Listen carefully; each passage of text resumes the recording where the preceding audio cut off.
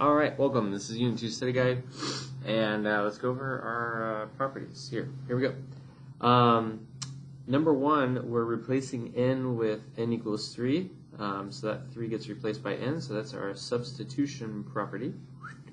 There we go. Uh, sorry, I already filled it out.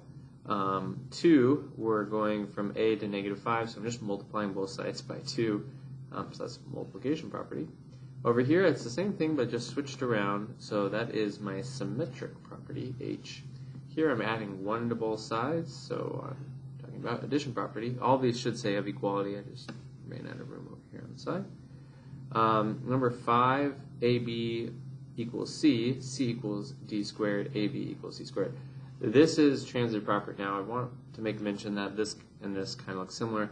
That's because transitive property is a form of substitution the difference is here, I'm saying n equals 3, and I'm just taking a part of the equation out and putting something else in. I'm not doing like a whole rechange. So think of like substitutions like taking the quarterback out, putting a new quarterback in, but the rest of the team stays the same. Here, I'm taking out like the whole team and replacing it with a whole new team, right? So like the Chargers are the same as the 49ers, the 49ers are the same as the uh, uh, the Chiefs, so thus the Chargers and the Chiefs are the same team. So I'm like taking the whole team out, not just replacing one thing. Um, so hopefully that kind of makes sense. Uh, G, 6y equals 6y, that's reflexive property. Um, they're equal to each other. And D, negative 8 and negative 8, uh, we divide. Um, and we get Q equals 7, so that's division property, D. Uh, here we're just adding uh, or it looks like we're subtracting, I'm sorry, a negative or 1 from both sides, so that's subtraction property. And then last but not least, distributive property. Okay, um, here's the answer to the front page. You might notice that these somewhat look familiar. If they didn't, because they were on our first study guide.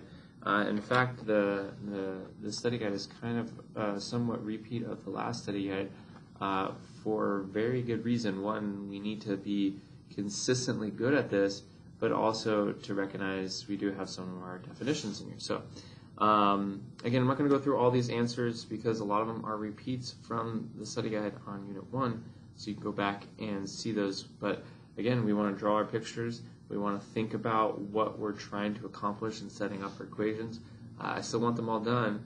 Um, if you feel like you nailed it the first time, then look at your whole study guide, and they're all there. Um, but yes, a lot of repetition on that. Um, so I'm actually going to turn over uh, to our proofs so we can hit up our proofs because those are new to us. So I'm jumping all the way to 26. Most of the other ones are pretty familiar uh, territories. So I'm going to leave those up to you. If you do have questions, we can go over them in class. So here we go. All right, so it's an algebraic proof. There's no thinking to be done here um, as far as what am I going to do all the algebra is done for me, so I'm just going to go step by step from one step to the next. I'm starting with my given, and I say, how do I go from here to here? Well, usually you want to get your x's to the same spot, so I'm looking here and here. It looks like I'm subtracting 6x. I recommend writing down what you're doing on this side, so then this makes it easier, but that should be subtraction property of equality. And then from this step to this step, it looks like we're moving the 17 over. So that's addition property of equality. And then from here to here, we're dividing by 2 on both sides. Yeah, write the plus 17. Um, so that's division property of equality. And then last but not least, I'm saying 12 equals x and I'm flipping it to x equals 12. That is symmetric property, not to be confused with our gentlemen. Reflexive. Yeah. All right. Now we get into the goods. Okay, so for this proof right here, what we want to do is we want to actually label our picture and try and get some understanding. So it says WY, um, which I'm going to just kind of color in blue. This piece right here is equal to this piece right here. And we want to prove uh, that wx and yz are congruent. Well, what's going to happen is I kind of have a feeling we're going to do segment addition postulate here. Uh, if I say this plus this equals this plus this, then we can subtract the middle out and get this. So I'm thinking, my brain's thinking, um, this is going to be segment addition postulate. I have a feeling that's going to be showing up. I'm going to be doing some subtracting, all that good stuff. So that's kind of what I want to, want to focus on as I'm doing this, because if I can subtract that middle piece out that they both share, then they should be congruent. So let's go ahead and get started. So I first start with my given statement. Okay, from here to here, it's the exact same statement. I'm just going from congruent to equal. So that should be definition of congruency or congruent. I like to use the symbol. All right, next. So here's where I, I kind of like saw myself going. Wx plus um, xz, okay, equals wz. So we're doing the whole thing. Good. And then wy plus yz equals wz. So those are both segment addition postulate. Right, little piece plus little piece equals big piece. Okay, now we have xz, okay, uh, xz plus yz equals wz. So I'm kind of lost on where this came from, so that's where I'm going to start busting out my highlighter here. Um, so I'm just going to see anything that repeats itself. wx plus xz. Um, I don't see a repetition of that. So let's see if we can see if we find anything else. I see wz, wz, wz. Okay. Like slowly making it there. And then we got, what is this in green? wy plus yz. Okay, so then we have this statement here. So I'm kind of curious, this is very similar to here. It looks like I might just be replacing uh, one of my values with something else. And that's kind of what I, am starting to see here, is that I don't see transitive property happening, uh, because if I would, one of these would switch out. But what I do see is that this statement right here kind of looks the same, but then that one piece is different. So what happens is it looks like I took wy and I replace it with xz, and we can see that right here, wy equals xz. So this looks like basic substitution property. So um, sometimes it takes a second to kind of figure that out. Yeah, that's basic substitution property. Okay, now, now that we got substitution property, we can see that this equals wz, this equals wz, this equals wz. So any of these three I can set equal to each other.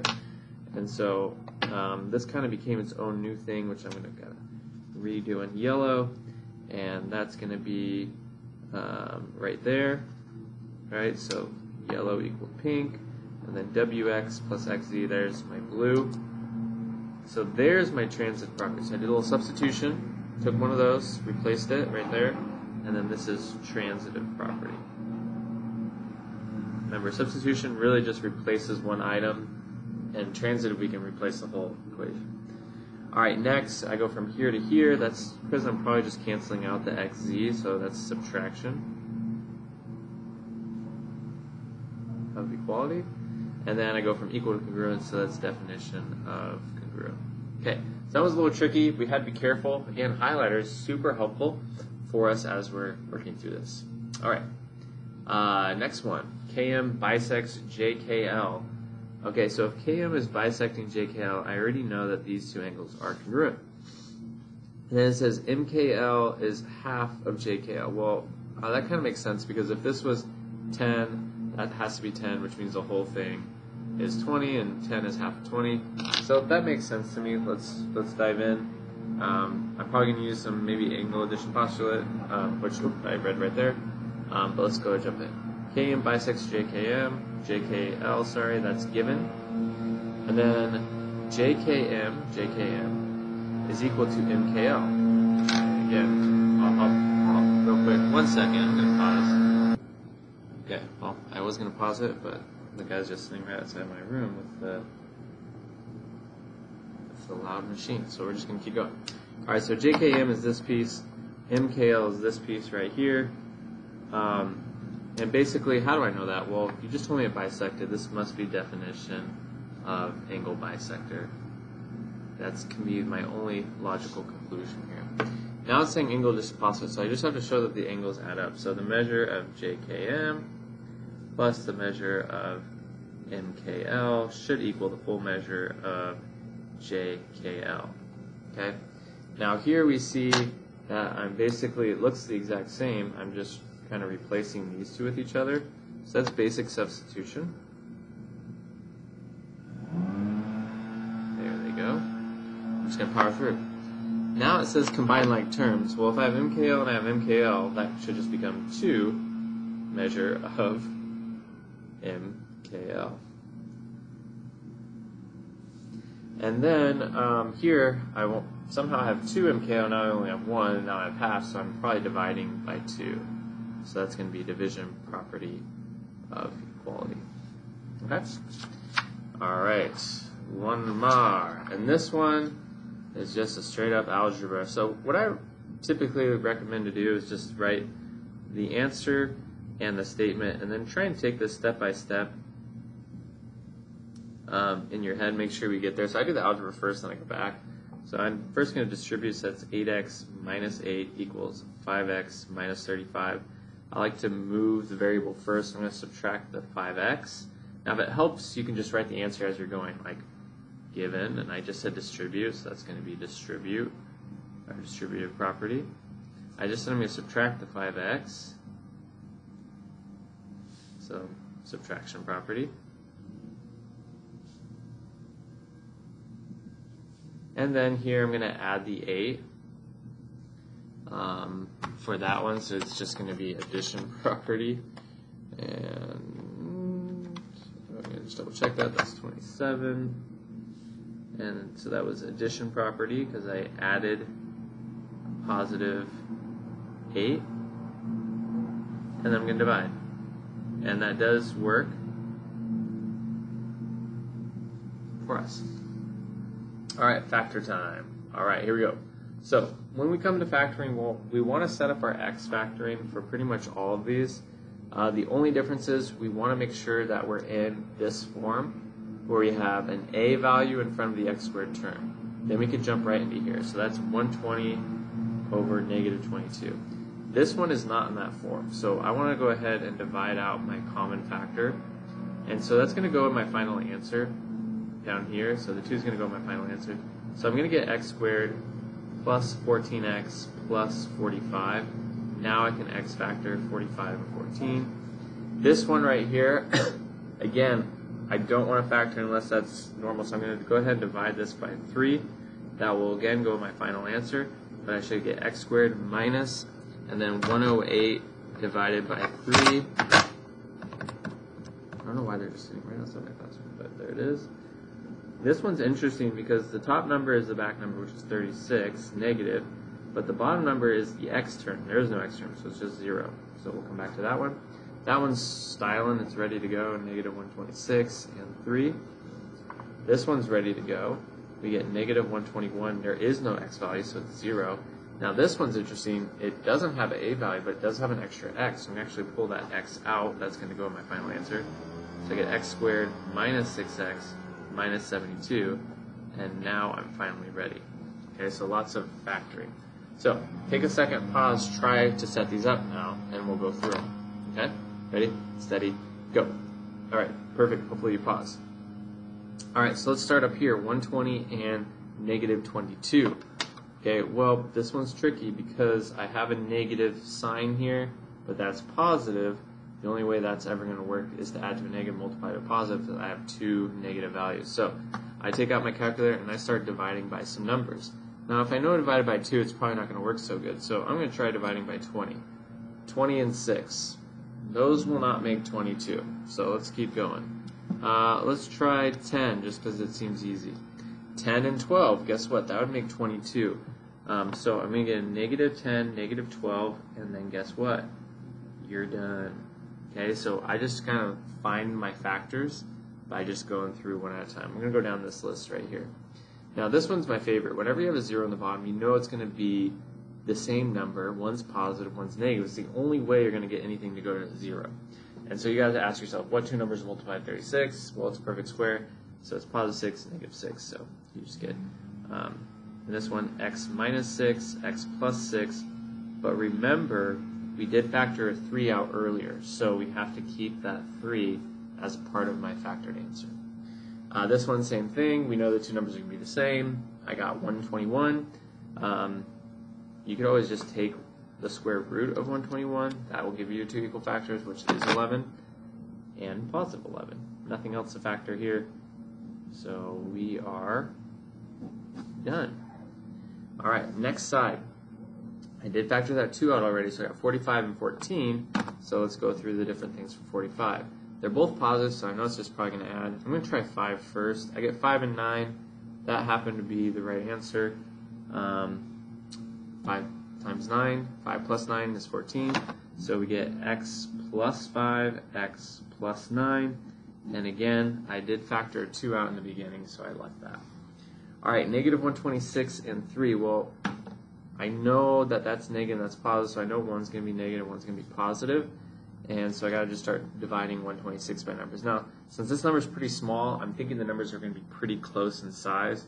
So I'm not going to start with like 2 or anything like that. I'm going to start a little bigger. 8 doesn't work. Um, I'm going to try, I don't think 10 is going to work. Let's try 12. Not going to work. Um, I'm going to try 13. Nope. So again, sometimes it's just trial and error 14. See if that works. So I get 14 and 9. Okay, so 14 and 9 is pretty close. If I were to subtract those, I'd get 5. But I'm not quite there. So 126 divided by, let's try 16. Mm-mm. Let's try, uh, let's see, I didn't do 15, but I know that one's not going to work. 17, let's try 18. 18 and 7, we're getting close-ish. I think maybe I went too big. Let's try 9. Uh, oh, I already did 9. That's right. Okay. So we're just going to keep trying till we kind of get to the right um, value here that we can get. So I'm going to start listing them because sometimes when you start listing them, it kind of helps see the prog the progress. Did we try 8? Uh, yeah, 8 didn't work. Did we try 7? See, 7 and 18. Not quite making 3 for us. Um, let's try, let's try 6 and 21. That's not helpful. Um, 126 and let's see, four. Nope, 126 and three. Three and 42. So I'm starting to run out of values here that I could potentially go into this. I'm going to try 12 again. Nope. Um, 13. I already know 14 works, but that's not going to work. So you just kind of got a process of elimination and I'm starting to get the feeling that this is actually going to be not factorable. Okay, unless I missed one completely, but I kind of went through pretty much the gamut. I don't think we got this um, for this one, which is sometimes the case. Okay, let's try this next one: negative 72, negative 6. One's positive, one's negative. So I'm going to start dividing it. I'm going to go 9. I know 9 and 8 work um, but we know that's not going to work there. Um, 72 divided by 6 and 12, that will work because if I get a negative 12 and a positive 6, that would cancel out. So I'm going to get x minus 12 and x plus 6. And I did factor an x out in the beginning, so there's my answer. All right, thank you, everybody.